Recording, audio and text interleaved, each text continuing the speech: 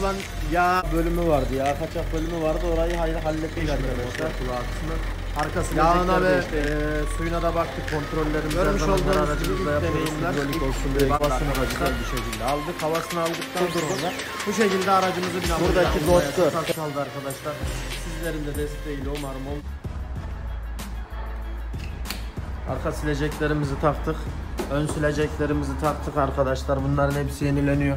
Şanzımanımızı bitirdik görmüş olduğunuz gibi. Aracımızın e, ışıkla ışığı takacak olursam.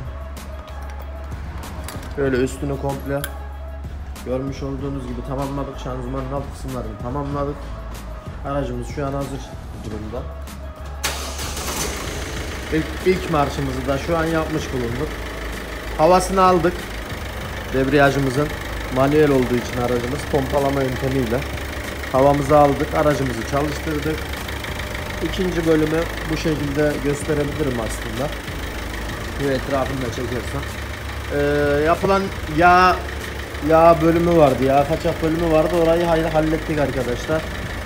Ee, ön silecekler yenilendi. Motor kulağını müşterimiz daha sonra değiştireceğini söyledi. O değişmedi motor kulağı kısmı. Arka silecekler değişti. Egere yağ kaçağı yapıldı. Ee, burada debriyaj setini görmüş olduğunuz gibi değiştirdik. Set hal- halinde rulman, volant ve baskı balata. Yağına ve e, suyuna da baktık. Kontrollerimizi her zaman her aracımızda yapıyoruz. Hidrolik olsun, direksiyon, yağ kısmı olsun. Bu şekilde bir hareket et bakalım değil mi? İlk baskı balatadan sonra bir hareketimizi gerçekleştirelim. Bir sıkıntı var mı? Bir problem var mı? Görelim bu arada.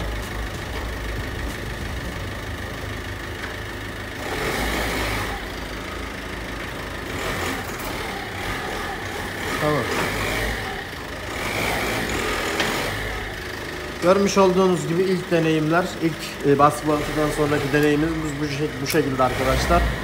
Ee, şöyle söyleyecek olursak aracımızın ilk başta baskı balatası ilk başta baskı balatası ee, bayağı bir kötü durumdaydı o yüzden debriyajımızın sertliği çok sert bir konumdaydı. Şu an e, ittirmeyle bakalım.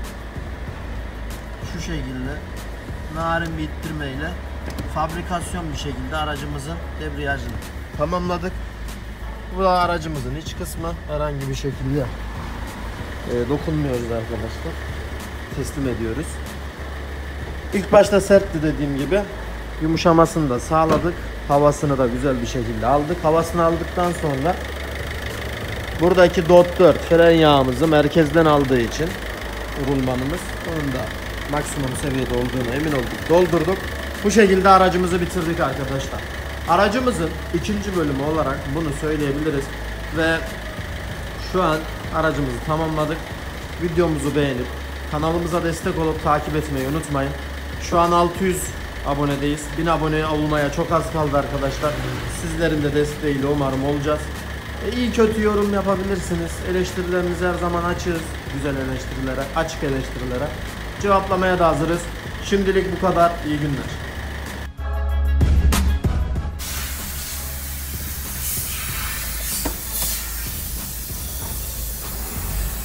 Arkadaşlar aracımıza bindik. Baskı balatanın değiştiğini söylemiştim. Şöyle kavrama noktasını görebilirsiniz. Araç şu an hareket ediyor. Yani konum olarak hani görüyorsunuz tam yerinde aşağılarda. Ben de hareket ettiğinde zaten devir saatin düştüğünü görebilirsiniz. Ee, aracımızla bir test sürüşüne çıkacağız. Aracımızda yalnız şöyle bir şey var. Gaza basayım. Aynaya bakın arkadaşlar.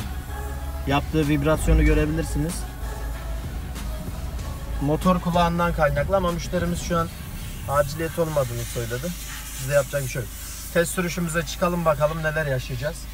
Aracımızda herhangi bir sıkıntı var mı? Mecburen test sürüşüne çıkarmadan araçlarımızı teslim etmiyoruz. Bakalım. Herhangi bir şey hissedeceğiz mi arkadaşlar? Aracımız Ford Fiesta bu arada.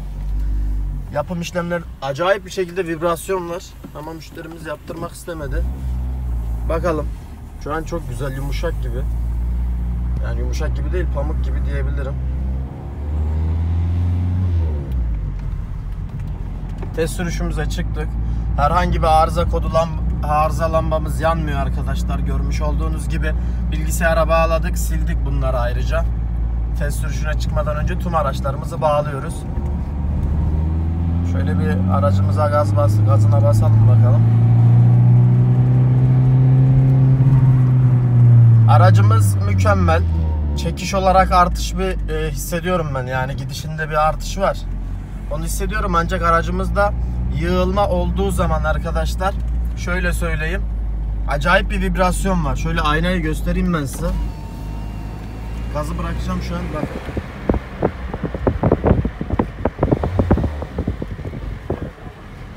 Bunu görebilirsiniz. Tam göründüm bilmiyorum. Hem araç kullanıp hem bunu yapmak biraz zor oluyor. Test sürüşümüze çıktık. Herhangi bir sıkıntı yok. Aracımızın videosu e, bu kadar diyebiliriz. Kapı ayarları var. Onu ayrı bir video olarak yapacağım arkadaşlar.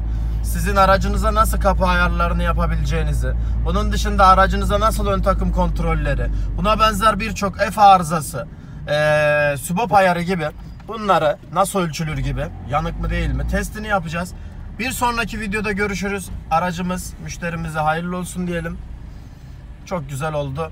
Beğenip abone olmayı unutmuyoruz. 1000 aboneye az kaldı.